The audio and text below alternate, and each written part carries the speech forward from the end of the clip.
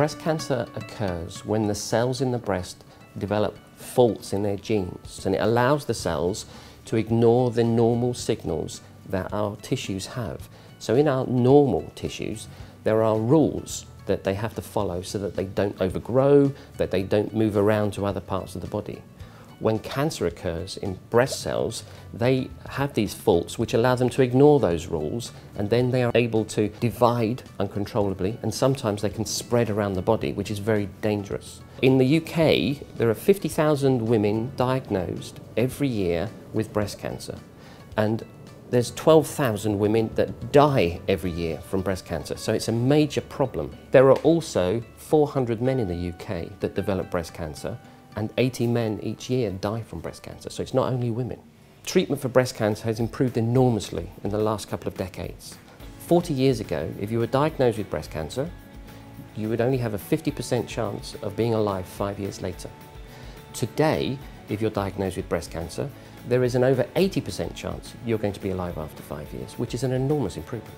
I work with a team of people in the laboratory who study breast cancer, and I also work with scientists around the world who study different questions in breast cancer. And we share our information between ourselves in order for us all to fight breast cancer together. I like puzzles, I like detective stories. So trying to work out how breast cancer grows and how it spreads is an amazingly big puzzle. To be a scientist, you're constantly asking the question, why? Why does breast cancer cells grow? Why do they spread around the body? And then you have to ask the question, how? How am I going to design an experiment to answer those questions? The reason research is so expensive is that scientists need very, very specialist materials and machines in order to do their work. The most expensive machine in my laboratory cost £450,000. It's a very specialist microscope and it is used every day by at least 150 or 200 scientists in the building. So even though it's very expensive, lots of people do benefit from a single machine.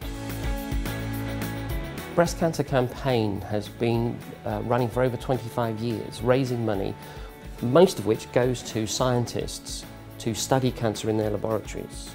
So they try to work out which genes and which proteins within cells are taken from breast cancers are actually responsible for the cancers to grow and to spread. Uh, they also try to find new ways of detecting cancer earlier because the earlier we detect it, the better the chance for the, the survival of the women. Breast Cancer Campaign also support research to help those people who have breast cancer to cope with the disease and also uh, their families as well.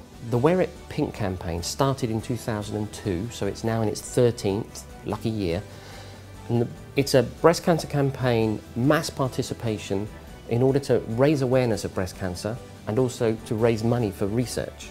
Last year, over £2 million was raised in the Wear It Pink campaign, and so far, over £25 million has been raised over the previous years.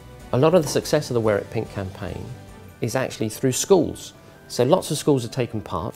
Every individual who takes part in the Wear It Pink campaign and donates money is helping to fight breast cancer. So you can make a change. By 2050, Breast Cancer Campaign want no one to die from breast cancer. This is a really tough target, so we do need your help. So please, wear it pink this October.